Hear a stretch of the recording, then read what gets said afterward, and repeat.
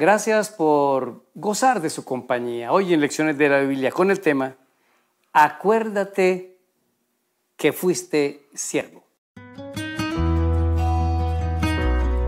Lecciones de la Biblia. A continuación.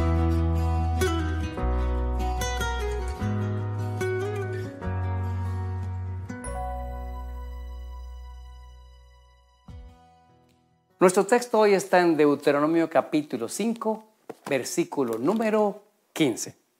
Acuérdate que fuiste siervo en la tierra de Egipto y que Jehová tu Dios te sacó de allá con mano fuerte y brazo extendido, por lo cual Jehová tu Dios te ha mandado que guardes el sábado. Hoy el punto de recordación de Dios con los israelitas es la esclavitud.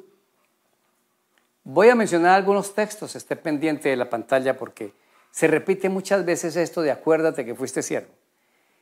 Todos los textos son de Deuteronomio. En el 5.15 dice, no olvides que te saqué de Egipto. En el 6.12 dice, fuiste siervo y yo te rescaté.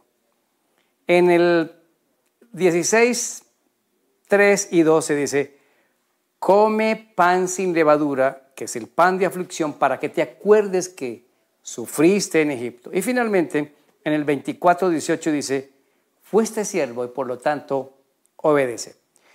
¿Por qué tanto énfasis en esto? Bueno, los padres de quienes van a entrar en la tierra prometida tuvieron gravísimos problemas de esclavitud en Egipto. Mis amigos, yo no he sido esclavo, ni usted tampoco, pero la esclavitud es amarga. La esclavitud es un desastre. La esclavitud es aterradora y por eso Dios prohíbe la esclavitud. Todo el mundo debe tener una mente libre para pensar, pero también ser responsable de sus actos y de sus acciones. Pero lo que Dios les está recordando a estos que están entrando a la tierra prometida, que no tienen más de 40 y algo de años, porque son los niños que salieron de Egipto o que nacieron en el desierto, les está diciendo, Acuérdense que sus padres fueron esclavos, porque la desobediencia los puede llevar a otro tipo de esclavitudes.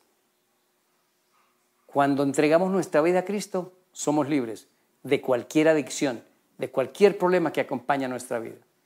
Pero apenas abandonamos al Señor, caemos en esclavitud, porque el diablo no libera a nadie.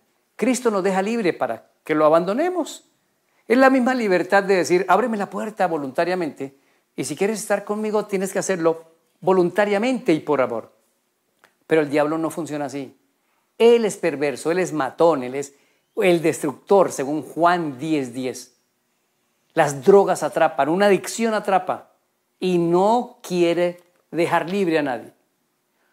Por eso la compañía en Cristo nos hace libres. Yo soy el camino, yo soy la verdad, yo soy la vida. Por eso no vale la pena vivir sin Cristo. Ahí están sus méritos. Él ganó por nosotros la batalla. Por eso si has salido de Egipto, persevera, marcha, camina hacia adelante. Si no has salido de Egipto, que es la esclavitud del pecado, tienes un libertador. El Cordero te liberta. Su Pascua, que es la muerte en la cruz, nos hizo totalmente libres.